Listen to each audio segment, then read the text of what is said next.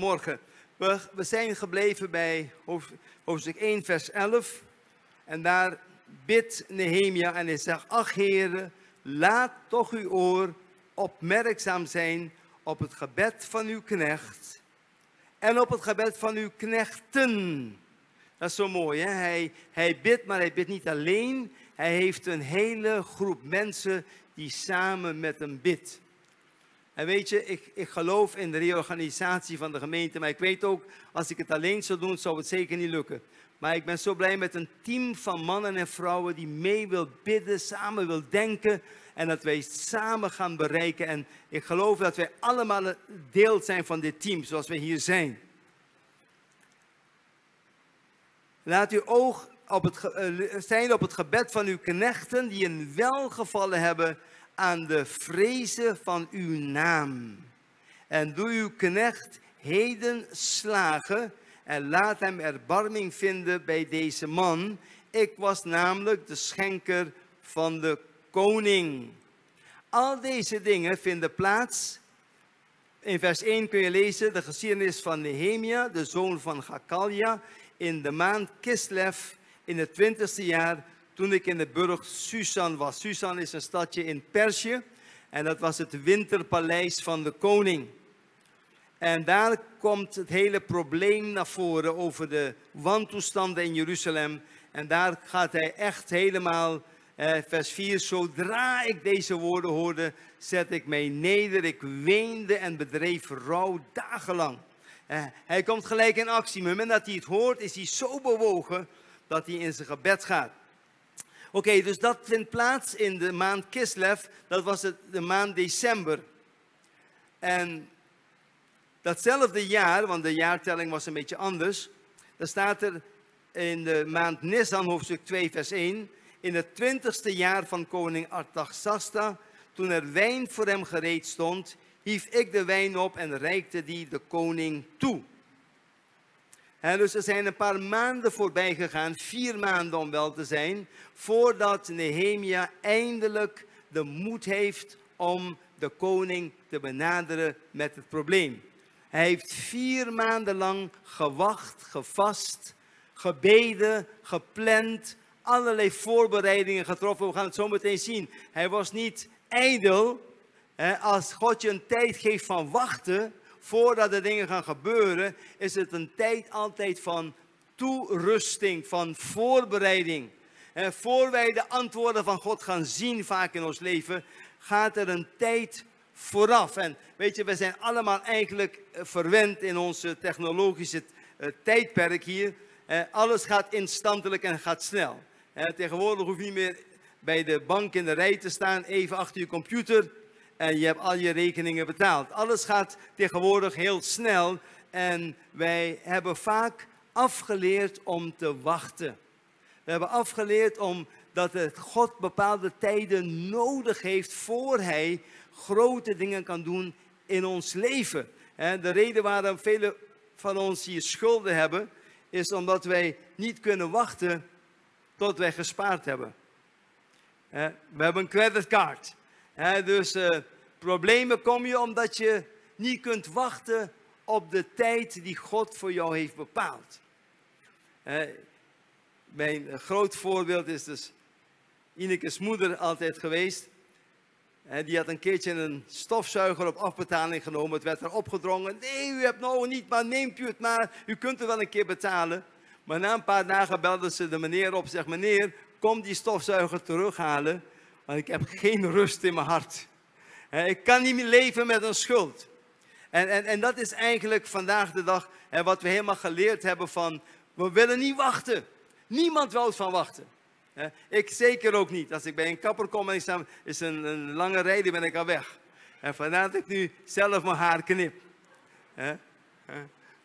We houden niet van wachtkamers van doktoren. Helemaal niet. Hè? Want als je bij een, wacht, bij een dokter in de wachtkamer komt, dan moet je altijd zorgen dat je geen griep krijgt. En allerlei andere mensen die zaten te hoesten. En oh. Dan moet je altijd beleiden van, Heer, ik ben genezen en u streamen. En er heeft geen enkele bacterie heeft macht over mijn leven. Het zijn geen prachtige plaatsen, wachtkamers. Maar weet je, God kan je helpen om jouw wachtkamer om te toveren in een werkkamer. Dat kan ook bij de dokter. Hè? Als je daar zit, erg al die zieke mensen, begint ze te vertellen over Jezus. Begin je tijd goed te gebruiken. We gaan er zo meteen even op in. Maar Nehemia die, die leert dat hij moet wachten. Hij moet wachten op de juiste tijd. En hier staat het, in de maand Nisan, in het twintigste jaar van koning Artaxasta, toen er wijn voor hem gereed stond, hief ik de wijn op en reikte die de koning toe. En hij was de wijnschenker, hij was de vertrouweling. En we hebben het geleerd vorige week, een wijnschenker moest altijd eerst proeven. Hij was een hele betrouwbare man, want de enige, op een van de manieren om een koning te verwijderen was hem te vergiftigen. En uh, hij had dus heel betrouwbare mensen nodig die voor hem proefden de wijn en het eten waarschijnlijk ook, voor hij ze diende. En nu staat hij bij deze koning en hij reikt de koning die wijn toe. En er staat, nu was ik nooit treurig geweest in zijn tegenwoordigheid. Dat is ook zo mooi, hè? De koning was heel streng en hij wilde geen chagrijnige mensen bij zich hebben. Geen negatieve mensen, maar positieve mensen. Mensen met een smile. Misschien herkent u zich erin. Vroeger had ik, was ik een beetje dom. Ik leek een beetje op Willem-Alexander. Eh, ik was een beetje dom vroeger. En uh, als mijn vrouw misschien een beetje met een minder goede bui opstond, dan zou ik kunnen zeggen van, wat ben je weer chagrijnig. En ik heb geleerd, mannen, dat is een les, zeg dat nooit. Geef je vrouw de tijd om zich te ontspannen en om haarzelf, zichzelf te, weer te vinden. En voor je het weet is ze weer blij. Maar als je een vrouw zegt, je bent chagrijnig, dan heb je ruzie voor een paar uren. en dat is niet wat we willen. Maar goed, dat is even een, een, een sideline. deze koning, die, uh, deze man, die is nooit treurig geweest in zijn tegenwoordigheid. En de koning zei tot mij, waarom staat uw gezicht zo somber, hoewel gij niet ziek zijn? Dit kan niet anders dan hartzeer zijn. Toen werd ik ten zeerste bevreesd. Hij werd, hij werd doodsbang, want de koning had een opmerking gemaakt over zijn gezicht. Sommige mensen denken dat hij het opzettelijk had gedaan om een reactie uit te lokken, maar ik denk het niet. Want die koningen waren heel streng. U weet wel, het was in dezelfde, deze koning was eigenlijk een, een, een stiefzoon van koningin Esther. En u weet hoe streng het was in die tijd, hè? Koningin Esther mocht niet zomaar bij de koning komen, tenzij ze was uitgenodigd. En uh, wat zei koningin Esther toen? Ik ga toch. Kom ik kom, dan kom ik om. En als hij de scepter zou toereiken, dan was aanvaard. En hij, ze nam het risico. En deze man neemt ook het risico. En hij begint gelijk met een compliment. Hij zegt, oh koning, leef in eeuwigheid. soms moet je iemand even naar de mond praten. hij begint met een positieve opmerking. Oh koning, leef in eeuwigheid. Hij denkt, dan, dan eh, valt het een beetje beter. Hoe zou mijn aangezicht, zegt hij, niet somber staan daar de stad, de plaats waar de graven mijn vaderen zijn, verwoest is en naar poorten door vuur verteerd zijn. En de koning zei tot mij, wat is dan uw verzoek? Toen bad ik tot de God des hemels. Mooi hè? De koning die zegt van, oké, je bent zo'n geweldige man, wat is je verzoek? Hij begreep dat er iets aan de hand was. En, en, en, en hij zegt, en toen bad ik tot de God des hemels het mooie daarvan is dat wij zien dat Nehemia een man was die met God wandelde. Hij was dat gebedsleven wat hij toonde, die vier maanden, was niet zomaar alleen door de nood. Het was zijn gewoonte om constant te bidden. De Bijbel zegt bid voortdurend. Dat betekent, ga elke keer weer bidden. Elke keer weer als er iets is. En ook als er niets is, en leer je verbinden met Gods troon. En zoals Hudson Taylor zei, ik heb geleerd om mensen te bewegen via de troon. En dat is wat we moeten leren. Hè? Via de troon van God mensen hart te bewegen. Vaak willen we het in ons eigen vlees doen. Maar het gaat erom eerst alles voorbereiden in gebed. Als je een gesprek moet hebben met je directeur. Of met een moeilijk persoon of wat dan ook, welke zaak. Breng het altijd eerst in gebed. En zoals Corrie ten Boom zegt, hè, eerst even consulteren met de Heer. Hè, eventjes uh, onderrondje. Jezus, wat moet ik doen? Wat wilt u dat ik zeg, Heer? Ik, ik wil dat niet in mijn eigen kracht doen. Geef mij uw inspiratie. En, en, hij ontvangt gelijk een boodschap en, en hij begint te praten. En het mooie is, hij heeft een plan klaar.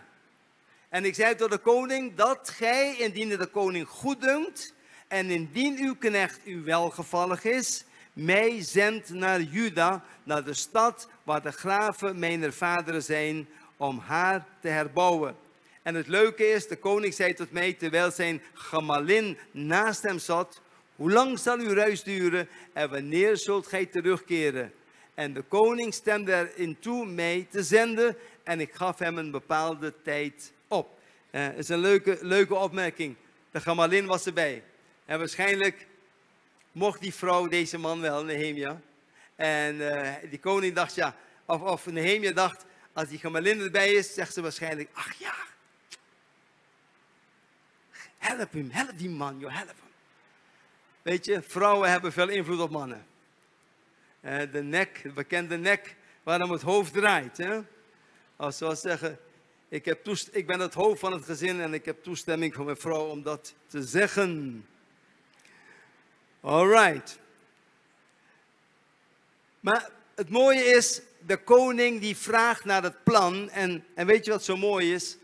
Nehemia heeft een plan klaargemaakt. Hij weet precies, hij heeft die tijd van wachten was niet zomaar. En hij heeft een plan gesmeed. Hij wist precies wat hij wilde. Hij heeft gebeden, gevast, maar ook heel praktisch. En dat is wat we willen doen.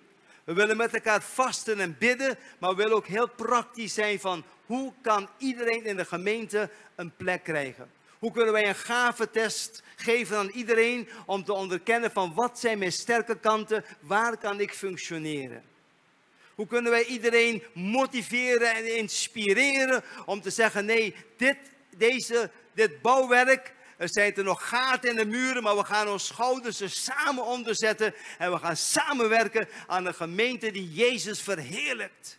Amen. We gaan samen onszelf geven. We gaan ons helemaal geven voor dit doel. Dat Curaçao mag weten dat Jezus leeft. En we hebben samen een, een, een visiestatement gemaakt met elkaar. En dat gaat zo iets van, eh, Iglesia de Nomo is een plaats waar we samenkomen om God te, eh, te, bidden, te aanbidden, elkaar lief te hebben, het woord van God te bestuderen en elkaar toerusten om samen Curaçao te winnen voor Jezus. Zo ongeveer. En we willen dat voorop hebben elke dag als wij samenkomen. Er moet een plaats zijn van liefde. Een plaats waar het woord centraal staat. Waar er wordt gebeden. Waar God wordt aanbeden. En waar we toegerust worden. Opdat wij Curaçao kunnen winnen voor Jezus. En dat we er samen voor gaan. Dat is onze visie en, en onze missie. En we willen samen de dingen doen die God wil. En dat is natuurlijk in eerste plaats Hem aanbidden. Maar ook bovenal mensen brengen aan de voeten van Jezus.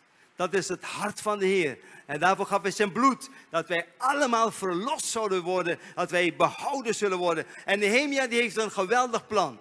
Hij dus een plan maken is niet ongeestelijk. Maar het moet wel geboren zijn uit gebed en gedragen door gebed. De motor, de kracht is altijd het gebed.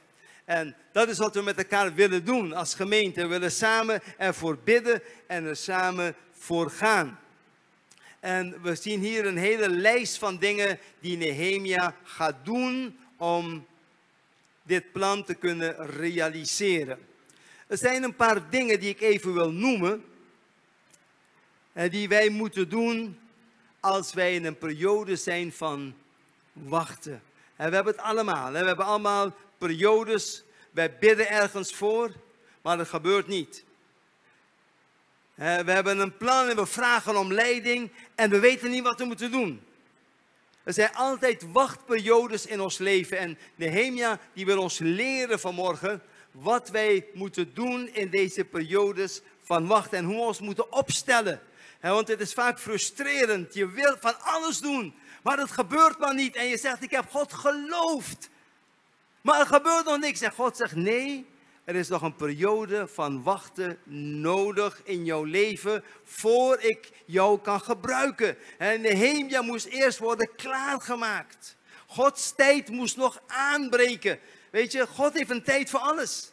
eh, dat zegt ook eh, het boek Prediker. Hè? Er is een tijd voor alles. En he made all things beautiful in his time.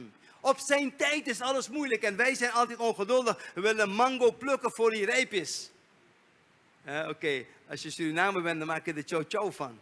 Dus dan kan het nog een beetje. Hè? Hoe noem je dat? Chin chin? Alright. Je kunt er zuur goed van maken. Maar in principe willen allemaal, allemaal snel, snel, snel. En God is een God van orde. God heeft zijn tijd. Alle dingen bij de Heer. En, en we worden vaak gefrustreerd in de tijden van wachten. We begrijpen niet dat die wachtkamer een werkkamer moet worden. Een, een werkkamer, met andere woorden, in plaats van ik zeg van, maar mijn tijd gaat voorbij en God doet niets en er gebeurt niets en ik word helemaal gefrustreerd eh, en ik heb toch zo geloofd en ik ben nog steeds niet genezen. Nee mensen, ga jouw wachttijd, jouw wachtkamer een werkkamer maken. Zeg, Heer, u hebt me hier geplaatst. En ik kan mijn karakter, aan mijn karakter werken. Ik kan, ik kan brieven schrijven. Ik kan de Bijbel gaan lezen. Ik kan gaan vasten en bidden. Ik ga mijn tijd optimaal gebruiken. Ik ga plannen maken dat ik klaar ben wanneer de deuren open gaan. Nehemia die had zich helemaal voorbereid en hij wist precies wat hij aan de koning zou moeten vragen. Hij heeft zijn wachtkamer tot een werkkamer gemaakt. En velen van ons wachten dat de dag aankomt dat we gezegend zullen worden of dat we blij zullen worden, alles. Nee, begin je nu te verblijden. Begin nu God te danken dat je gezegend bent. Dat je meer dan overwinnaar bent. Te midden van al die omstandigheden, terwijl je wacht op een oplossing. Misschien is dit jouw eindstation. want, want Paulus kan zeggen, ik heb geleerd in alle omstandigheden tevreden te zijn. Hij zegt, ik weet wat het betekent om overvloed te hebben of armoede te lijden. Het maakt me allemaal niets uit. Of ik pijn heb of geen pijn. Ik ga de Heer loven en prijzen. Amen. Ik ga mijn wachttijd, in plaats van passief te wachten op het wonder, ga ik mezelf geven. En ik ga leren van de Heer. Ik ga Hem mij laten omvormen. Eh, ik, heb het, ik citeer het vaak, hè, dat gezegde van Lloyd Jones. Hè? The worst thing that can happen to a man is to succeed before he is ready. If you, als je karakter niet gevormd is en je hebt gelijk veel succes, dan is het het recept voor disaster. En hoeveel grote predikers zijn niet gevallen in zonde, want hun karakter was nog niet gevormd, maar ze hadden wel een geweldige boodschap en een zalving op hun leven. En geweldige dingen gebeurden en ze dachten dat ze een halve God werden. Oké, mensen, als het niet gaat zoals je het zou willen, moet je aan een paar dingen eventjes denken. Nummer één, we moeten uh, herinneren dat er is een tijd van zaaien en een tijd van oosten. En dat is een wet van God. Niet altijd gaan de dingen precies zoals wij dat willen. als het niet gaat, Herinner jezelf eraan. Er is een tijd van zaaien en er is een tijd van oosten. En we hebben hier een tuintje geplant met wat tomaten en komkommer en allerlei dingen. En ik, elke keer kijk ik al of er bloempjes aankomen en of we al kunnen oosten. Maar er is tijd voor nodig. Weet je, en als de dingen niet gaan zoals je wil, mag je weten, er is een tijd van zaaien en een tijd van oosten. En dat je bemoediging zijn. Je bent nog in die wachtkamer, maar de tijd van oogsten komt zeker. Amen. De Bijbel zegt dan zullen wij oogsten. Als wij niet verslappen. We zullen oogsten. Ik geloof in God voor grote dingen. Het kan eventjes duren. Maar mensen, de tijd van oogsten gaat zeker komen. Een andere reden waarom soms onze gebeden niet gelijk worden eh, beantwoord en we even moeten wachten, is dat wij een vijand hebben die probeert om jouw zegeningen te stelen. U weet, als je kijkt in Daniel 10, dan spreekt Daniel over dat hij had gebeden en dat die engel aan hem verschijnt en die engel zegt, het moment dat jou, je hebt gebeden, is jouw gebed verhoord bij God. Maar het duurde drie weken, want zijn engel kwam met het antwoord maar Satan stond ertussen. En die geestelijke oorlogsvoering is natuurlijk iets, uh, ja, heel moeilijk om te begrijpen, maar het is heel reëel. En de Bijbel zegt niet voor niets, we hebben niet te worstelen tegen vlees en bloed, maar tegen de overheden, tegen de machten der duisternis. Dat is onze strijd. De Bijbel zegt, wedersta de vijand en hij zal van u vlieden. Met andere woorden, er is een vijand, een reële vijand, die probeert om jouw gebeden te verhinderen. En dus als je soms moet wachten, word, kom niet in paniek, maar begin God te danken. Zeg, Heer, ik dank u. Ik dank u, er is een vijand, want hij vindt het de moeite waard om mijn gebeden tegen te werken. Want hij weet dat God met mij is. Nummer drie. En God die maakt me klaar voor de zegeningen die hij voor mij heeft. Hij werkt aan mijn karakter. Hij is bezig mij toe te bereiden en toe te rusten. En nummer vier.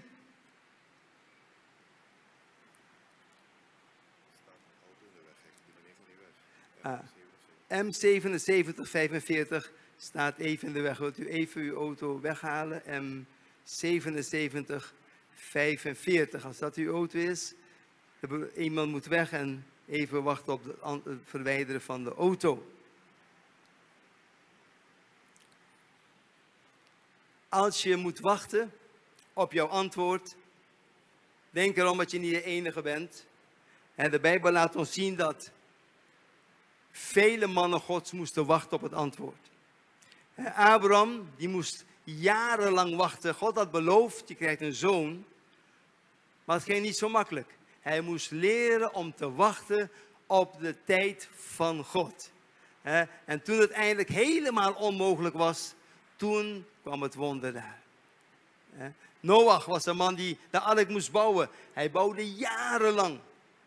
Mozes was een man 40 jaar in de woestijn om te leren. En Hanna moest zo bidden om een kind. Dus ik wil je bemoedigen als je moet wachten, word niet ontmoedigd, want God is bezig om zijn tijd te bepalen en de tijd van God voor jou, die komt er zeker aan. als je moet wachten, weet één ding, God is altijd op tijd. Hij is nooit te snel, maar nooit te laat. Bij Lazarus graf, ze moesten wachten. En ze dachten, oh nee, Jezus, degene die je lief hebt is ziek. En, en, en, ze dachten, Jezus komt gelijk. Maar Jezus neemt zijn tijd. En we moeten niet gefrustreerd raken. Hè, want we zien het in het leven van Nehemia.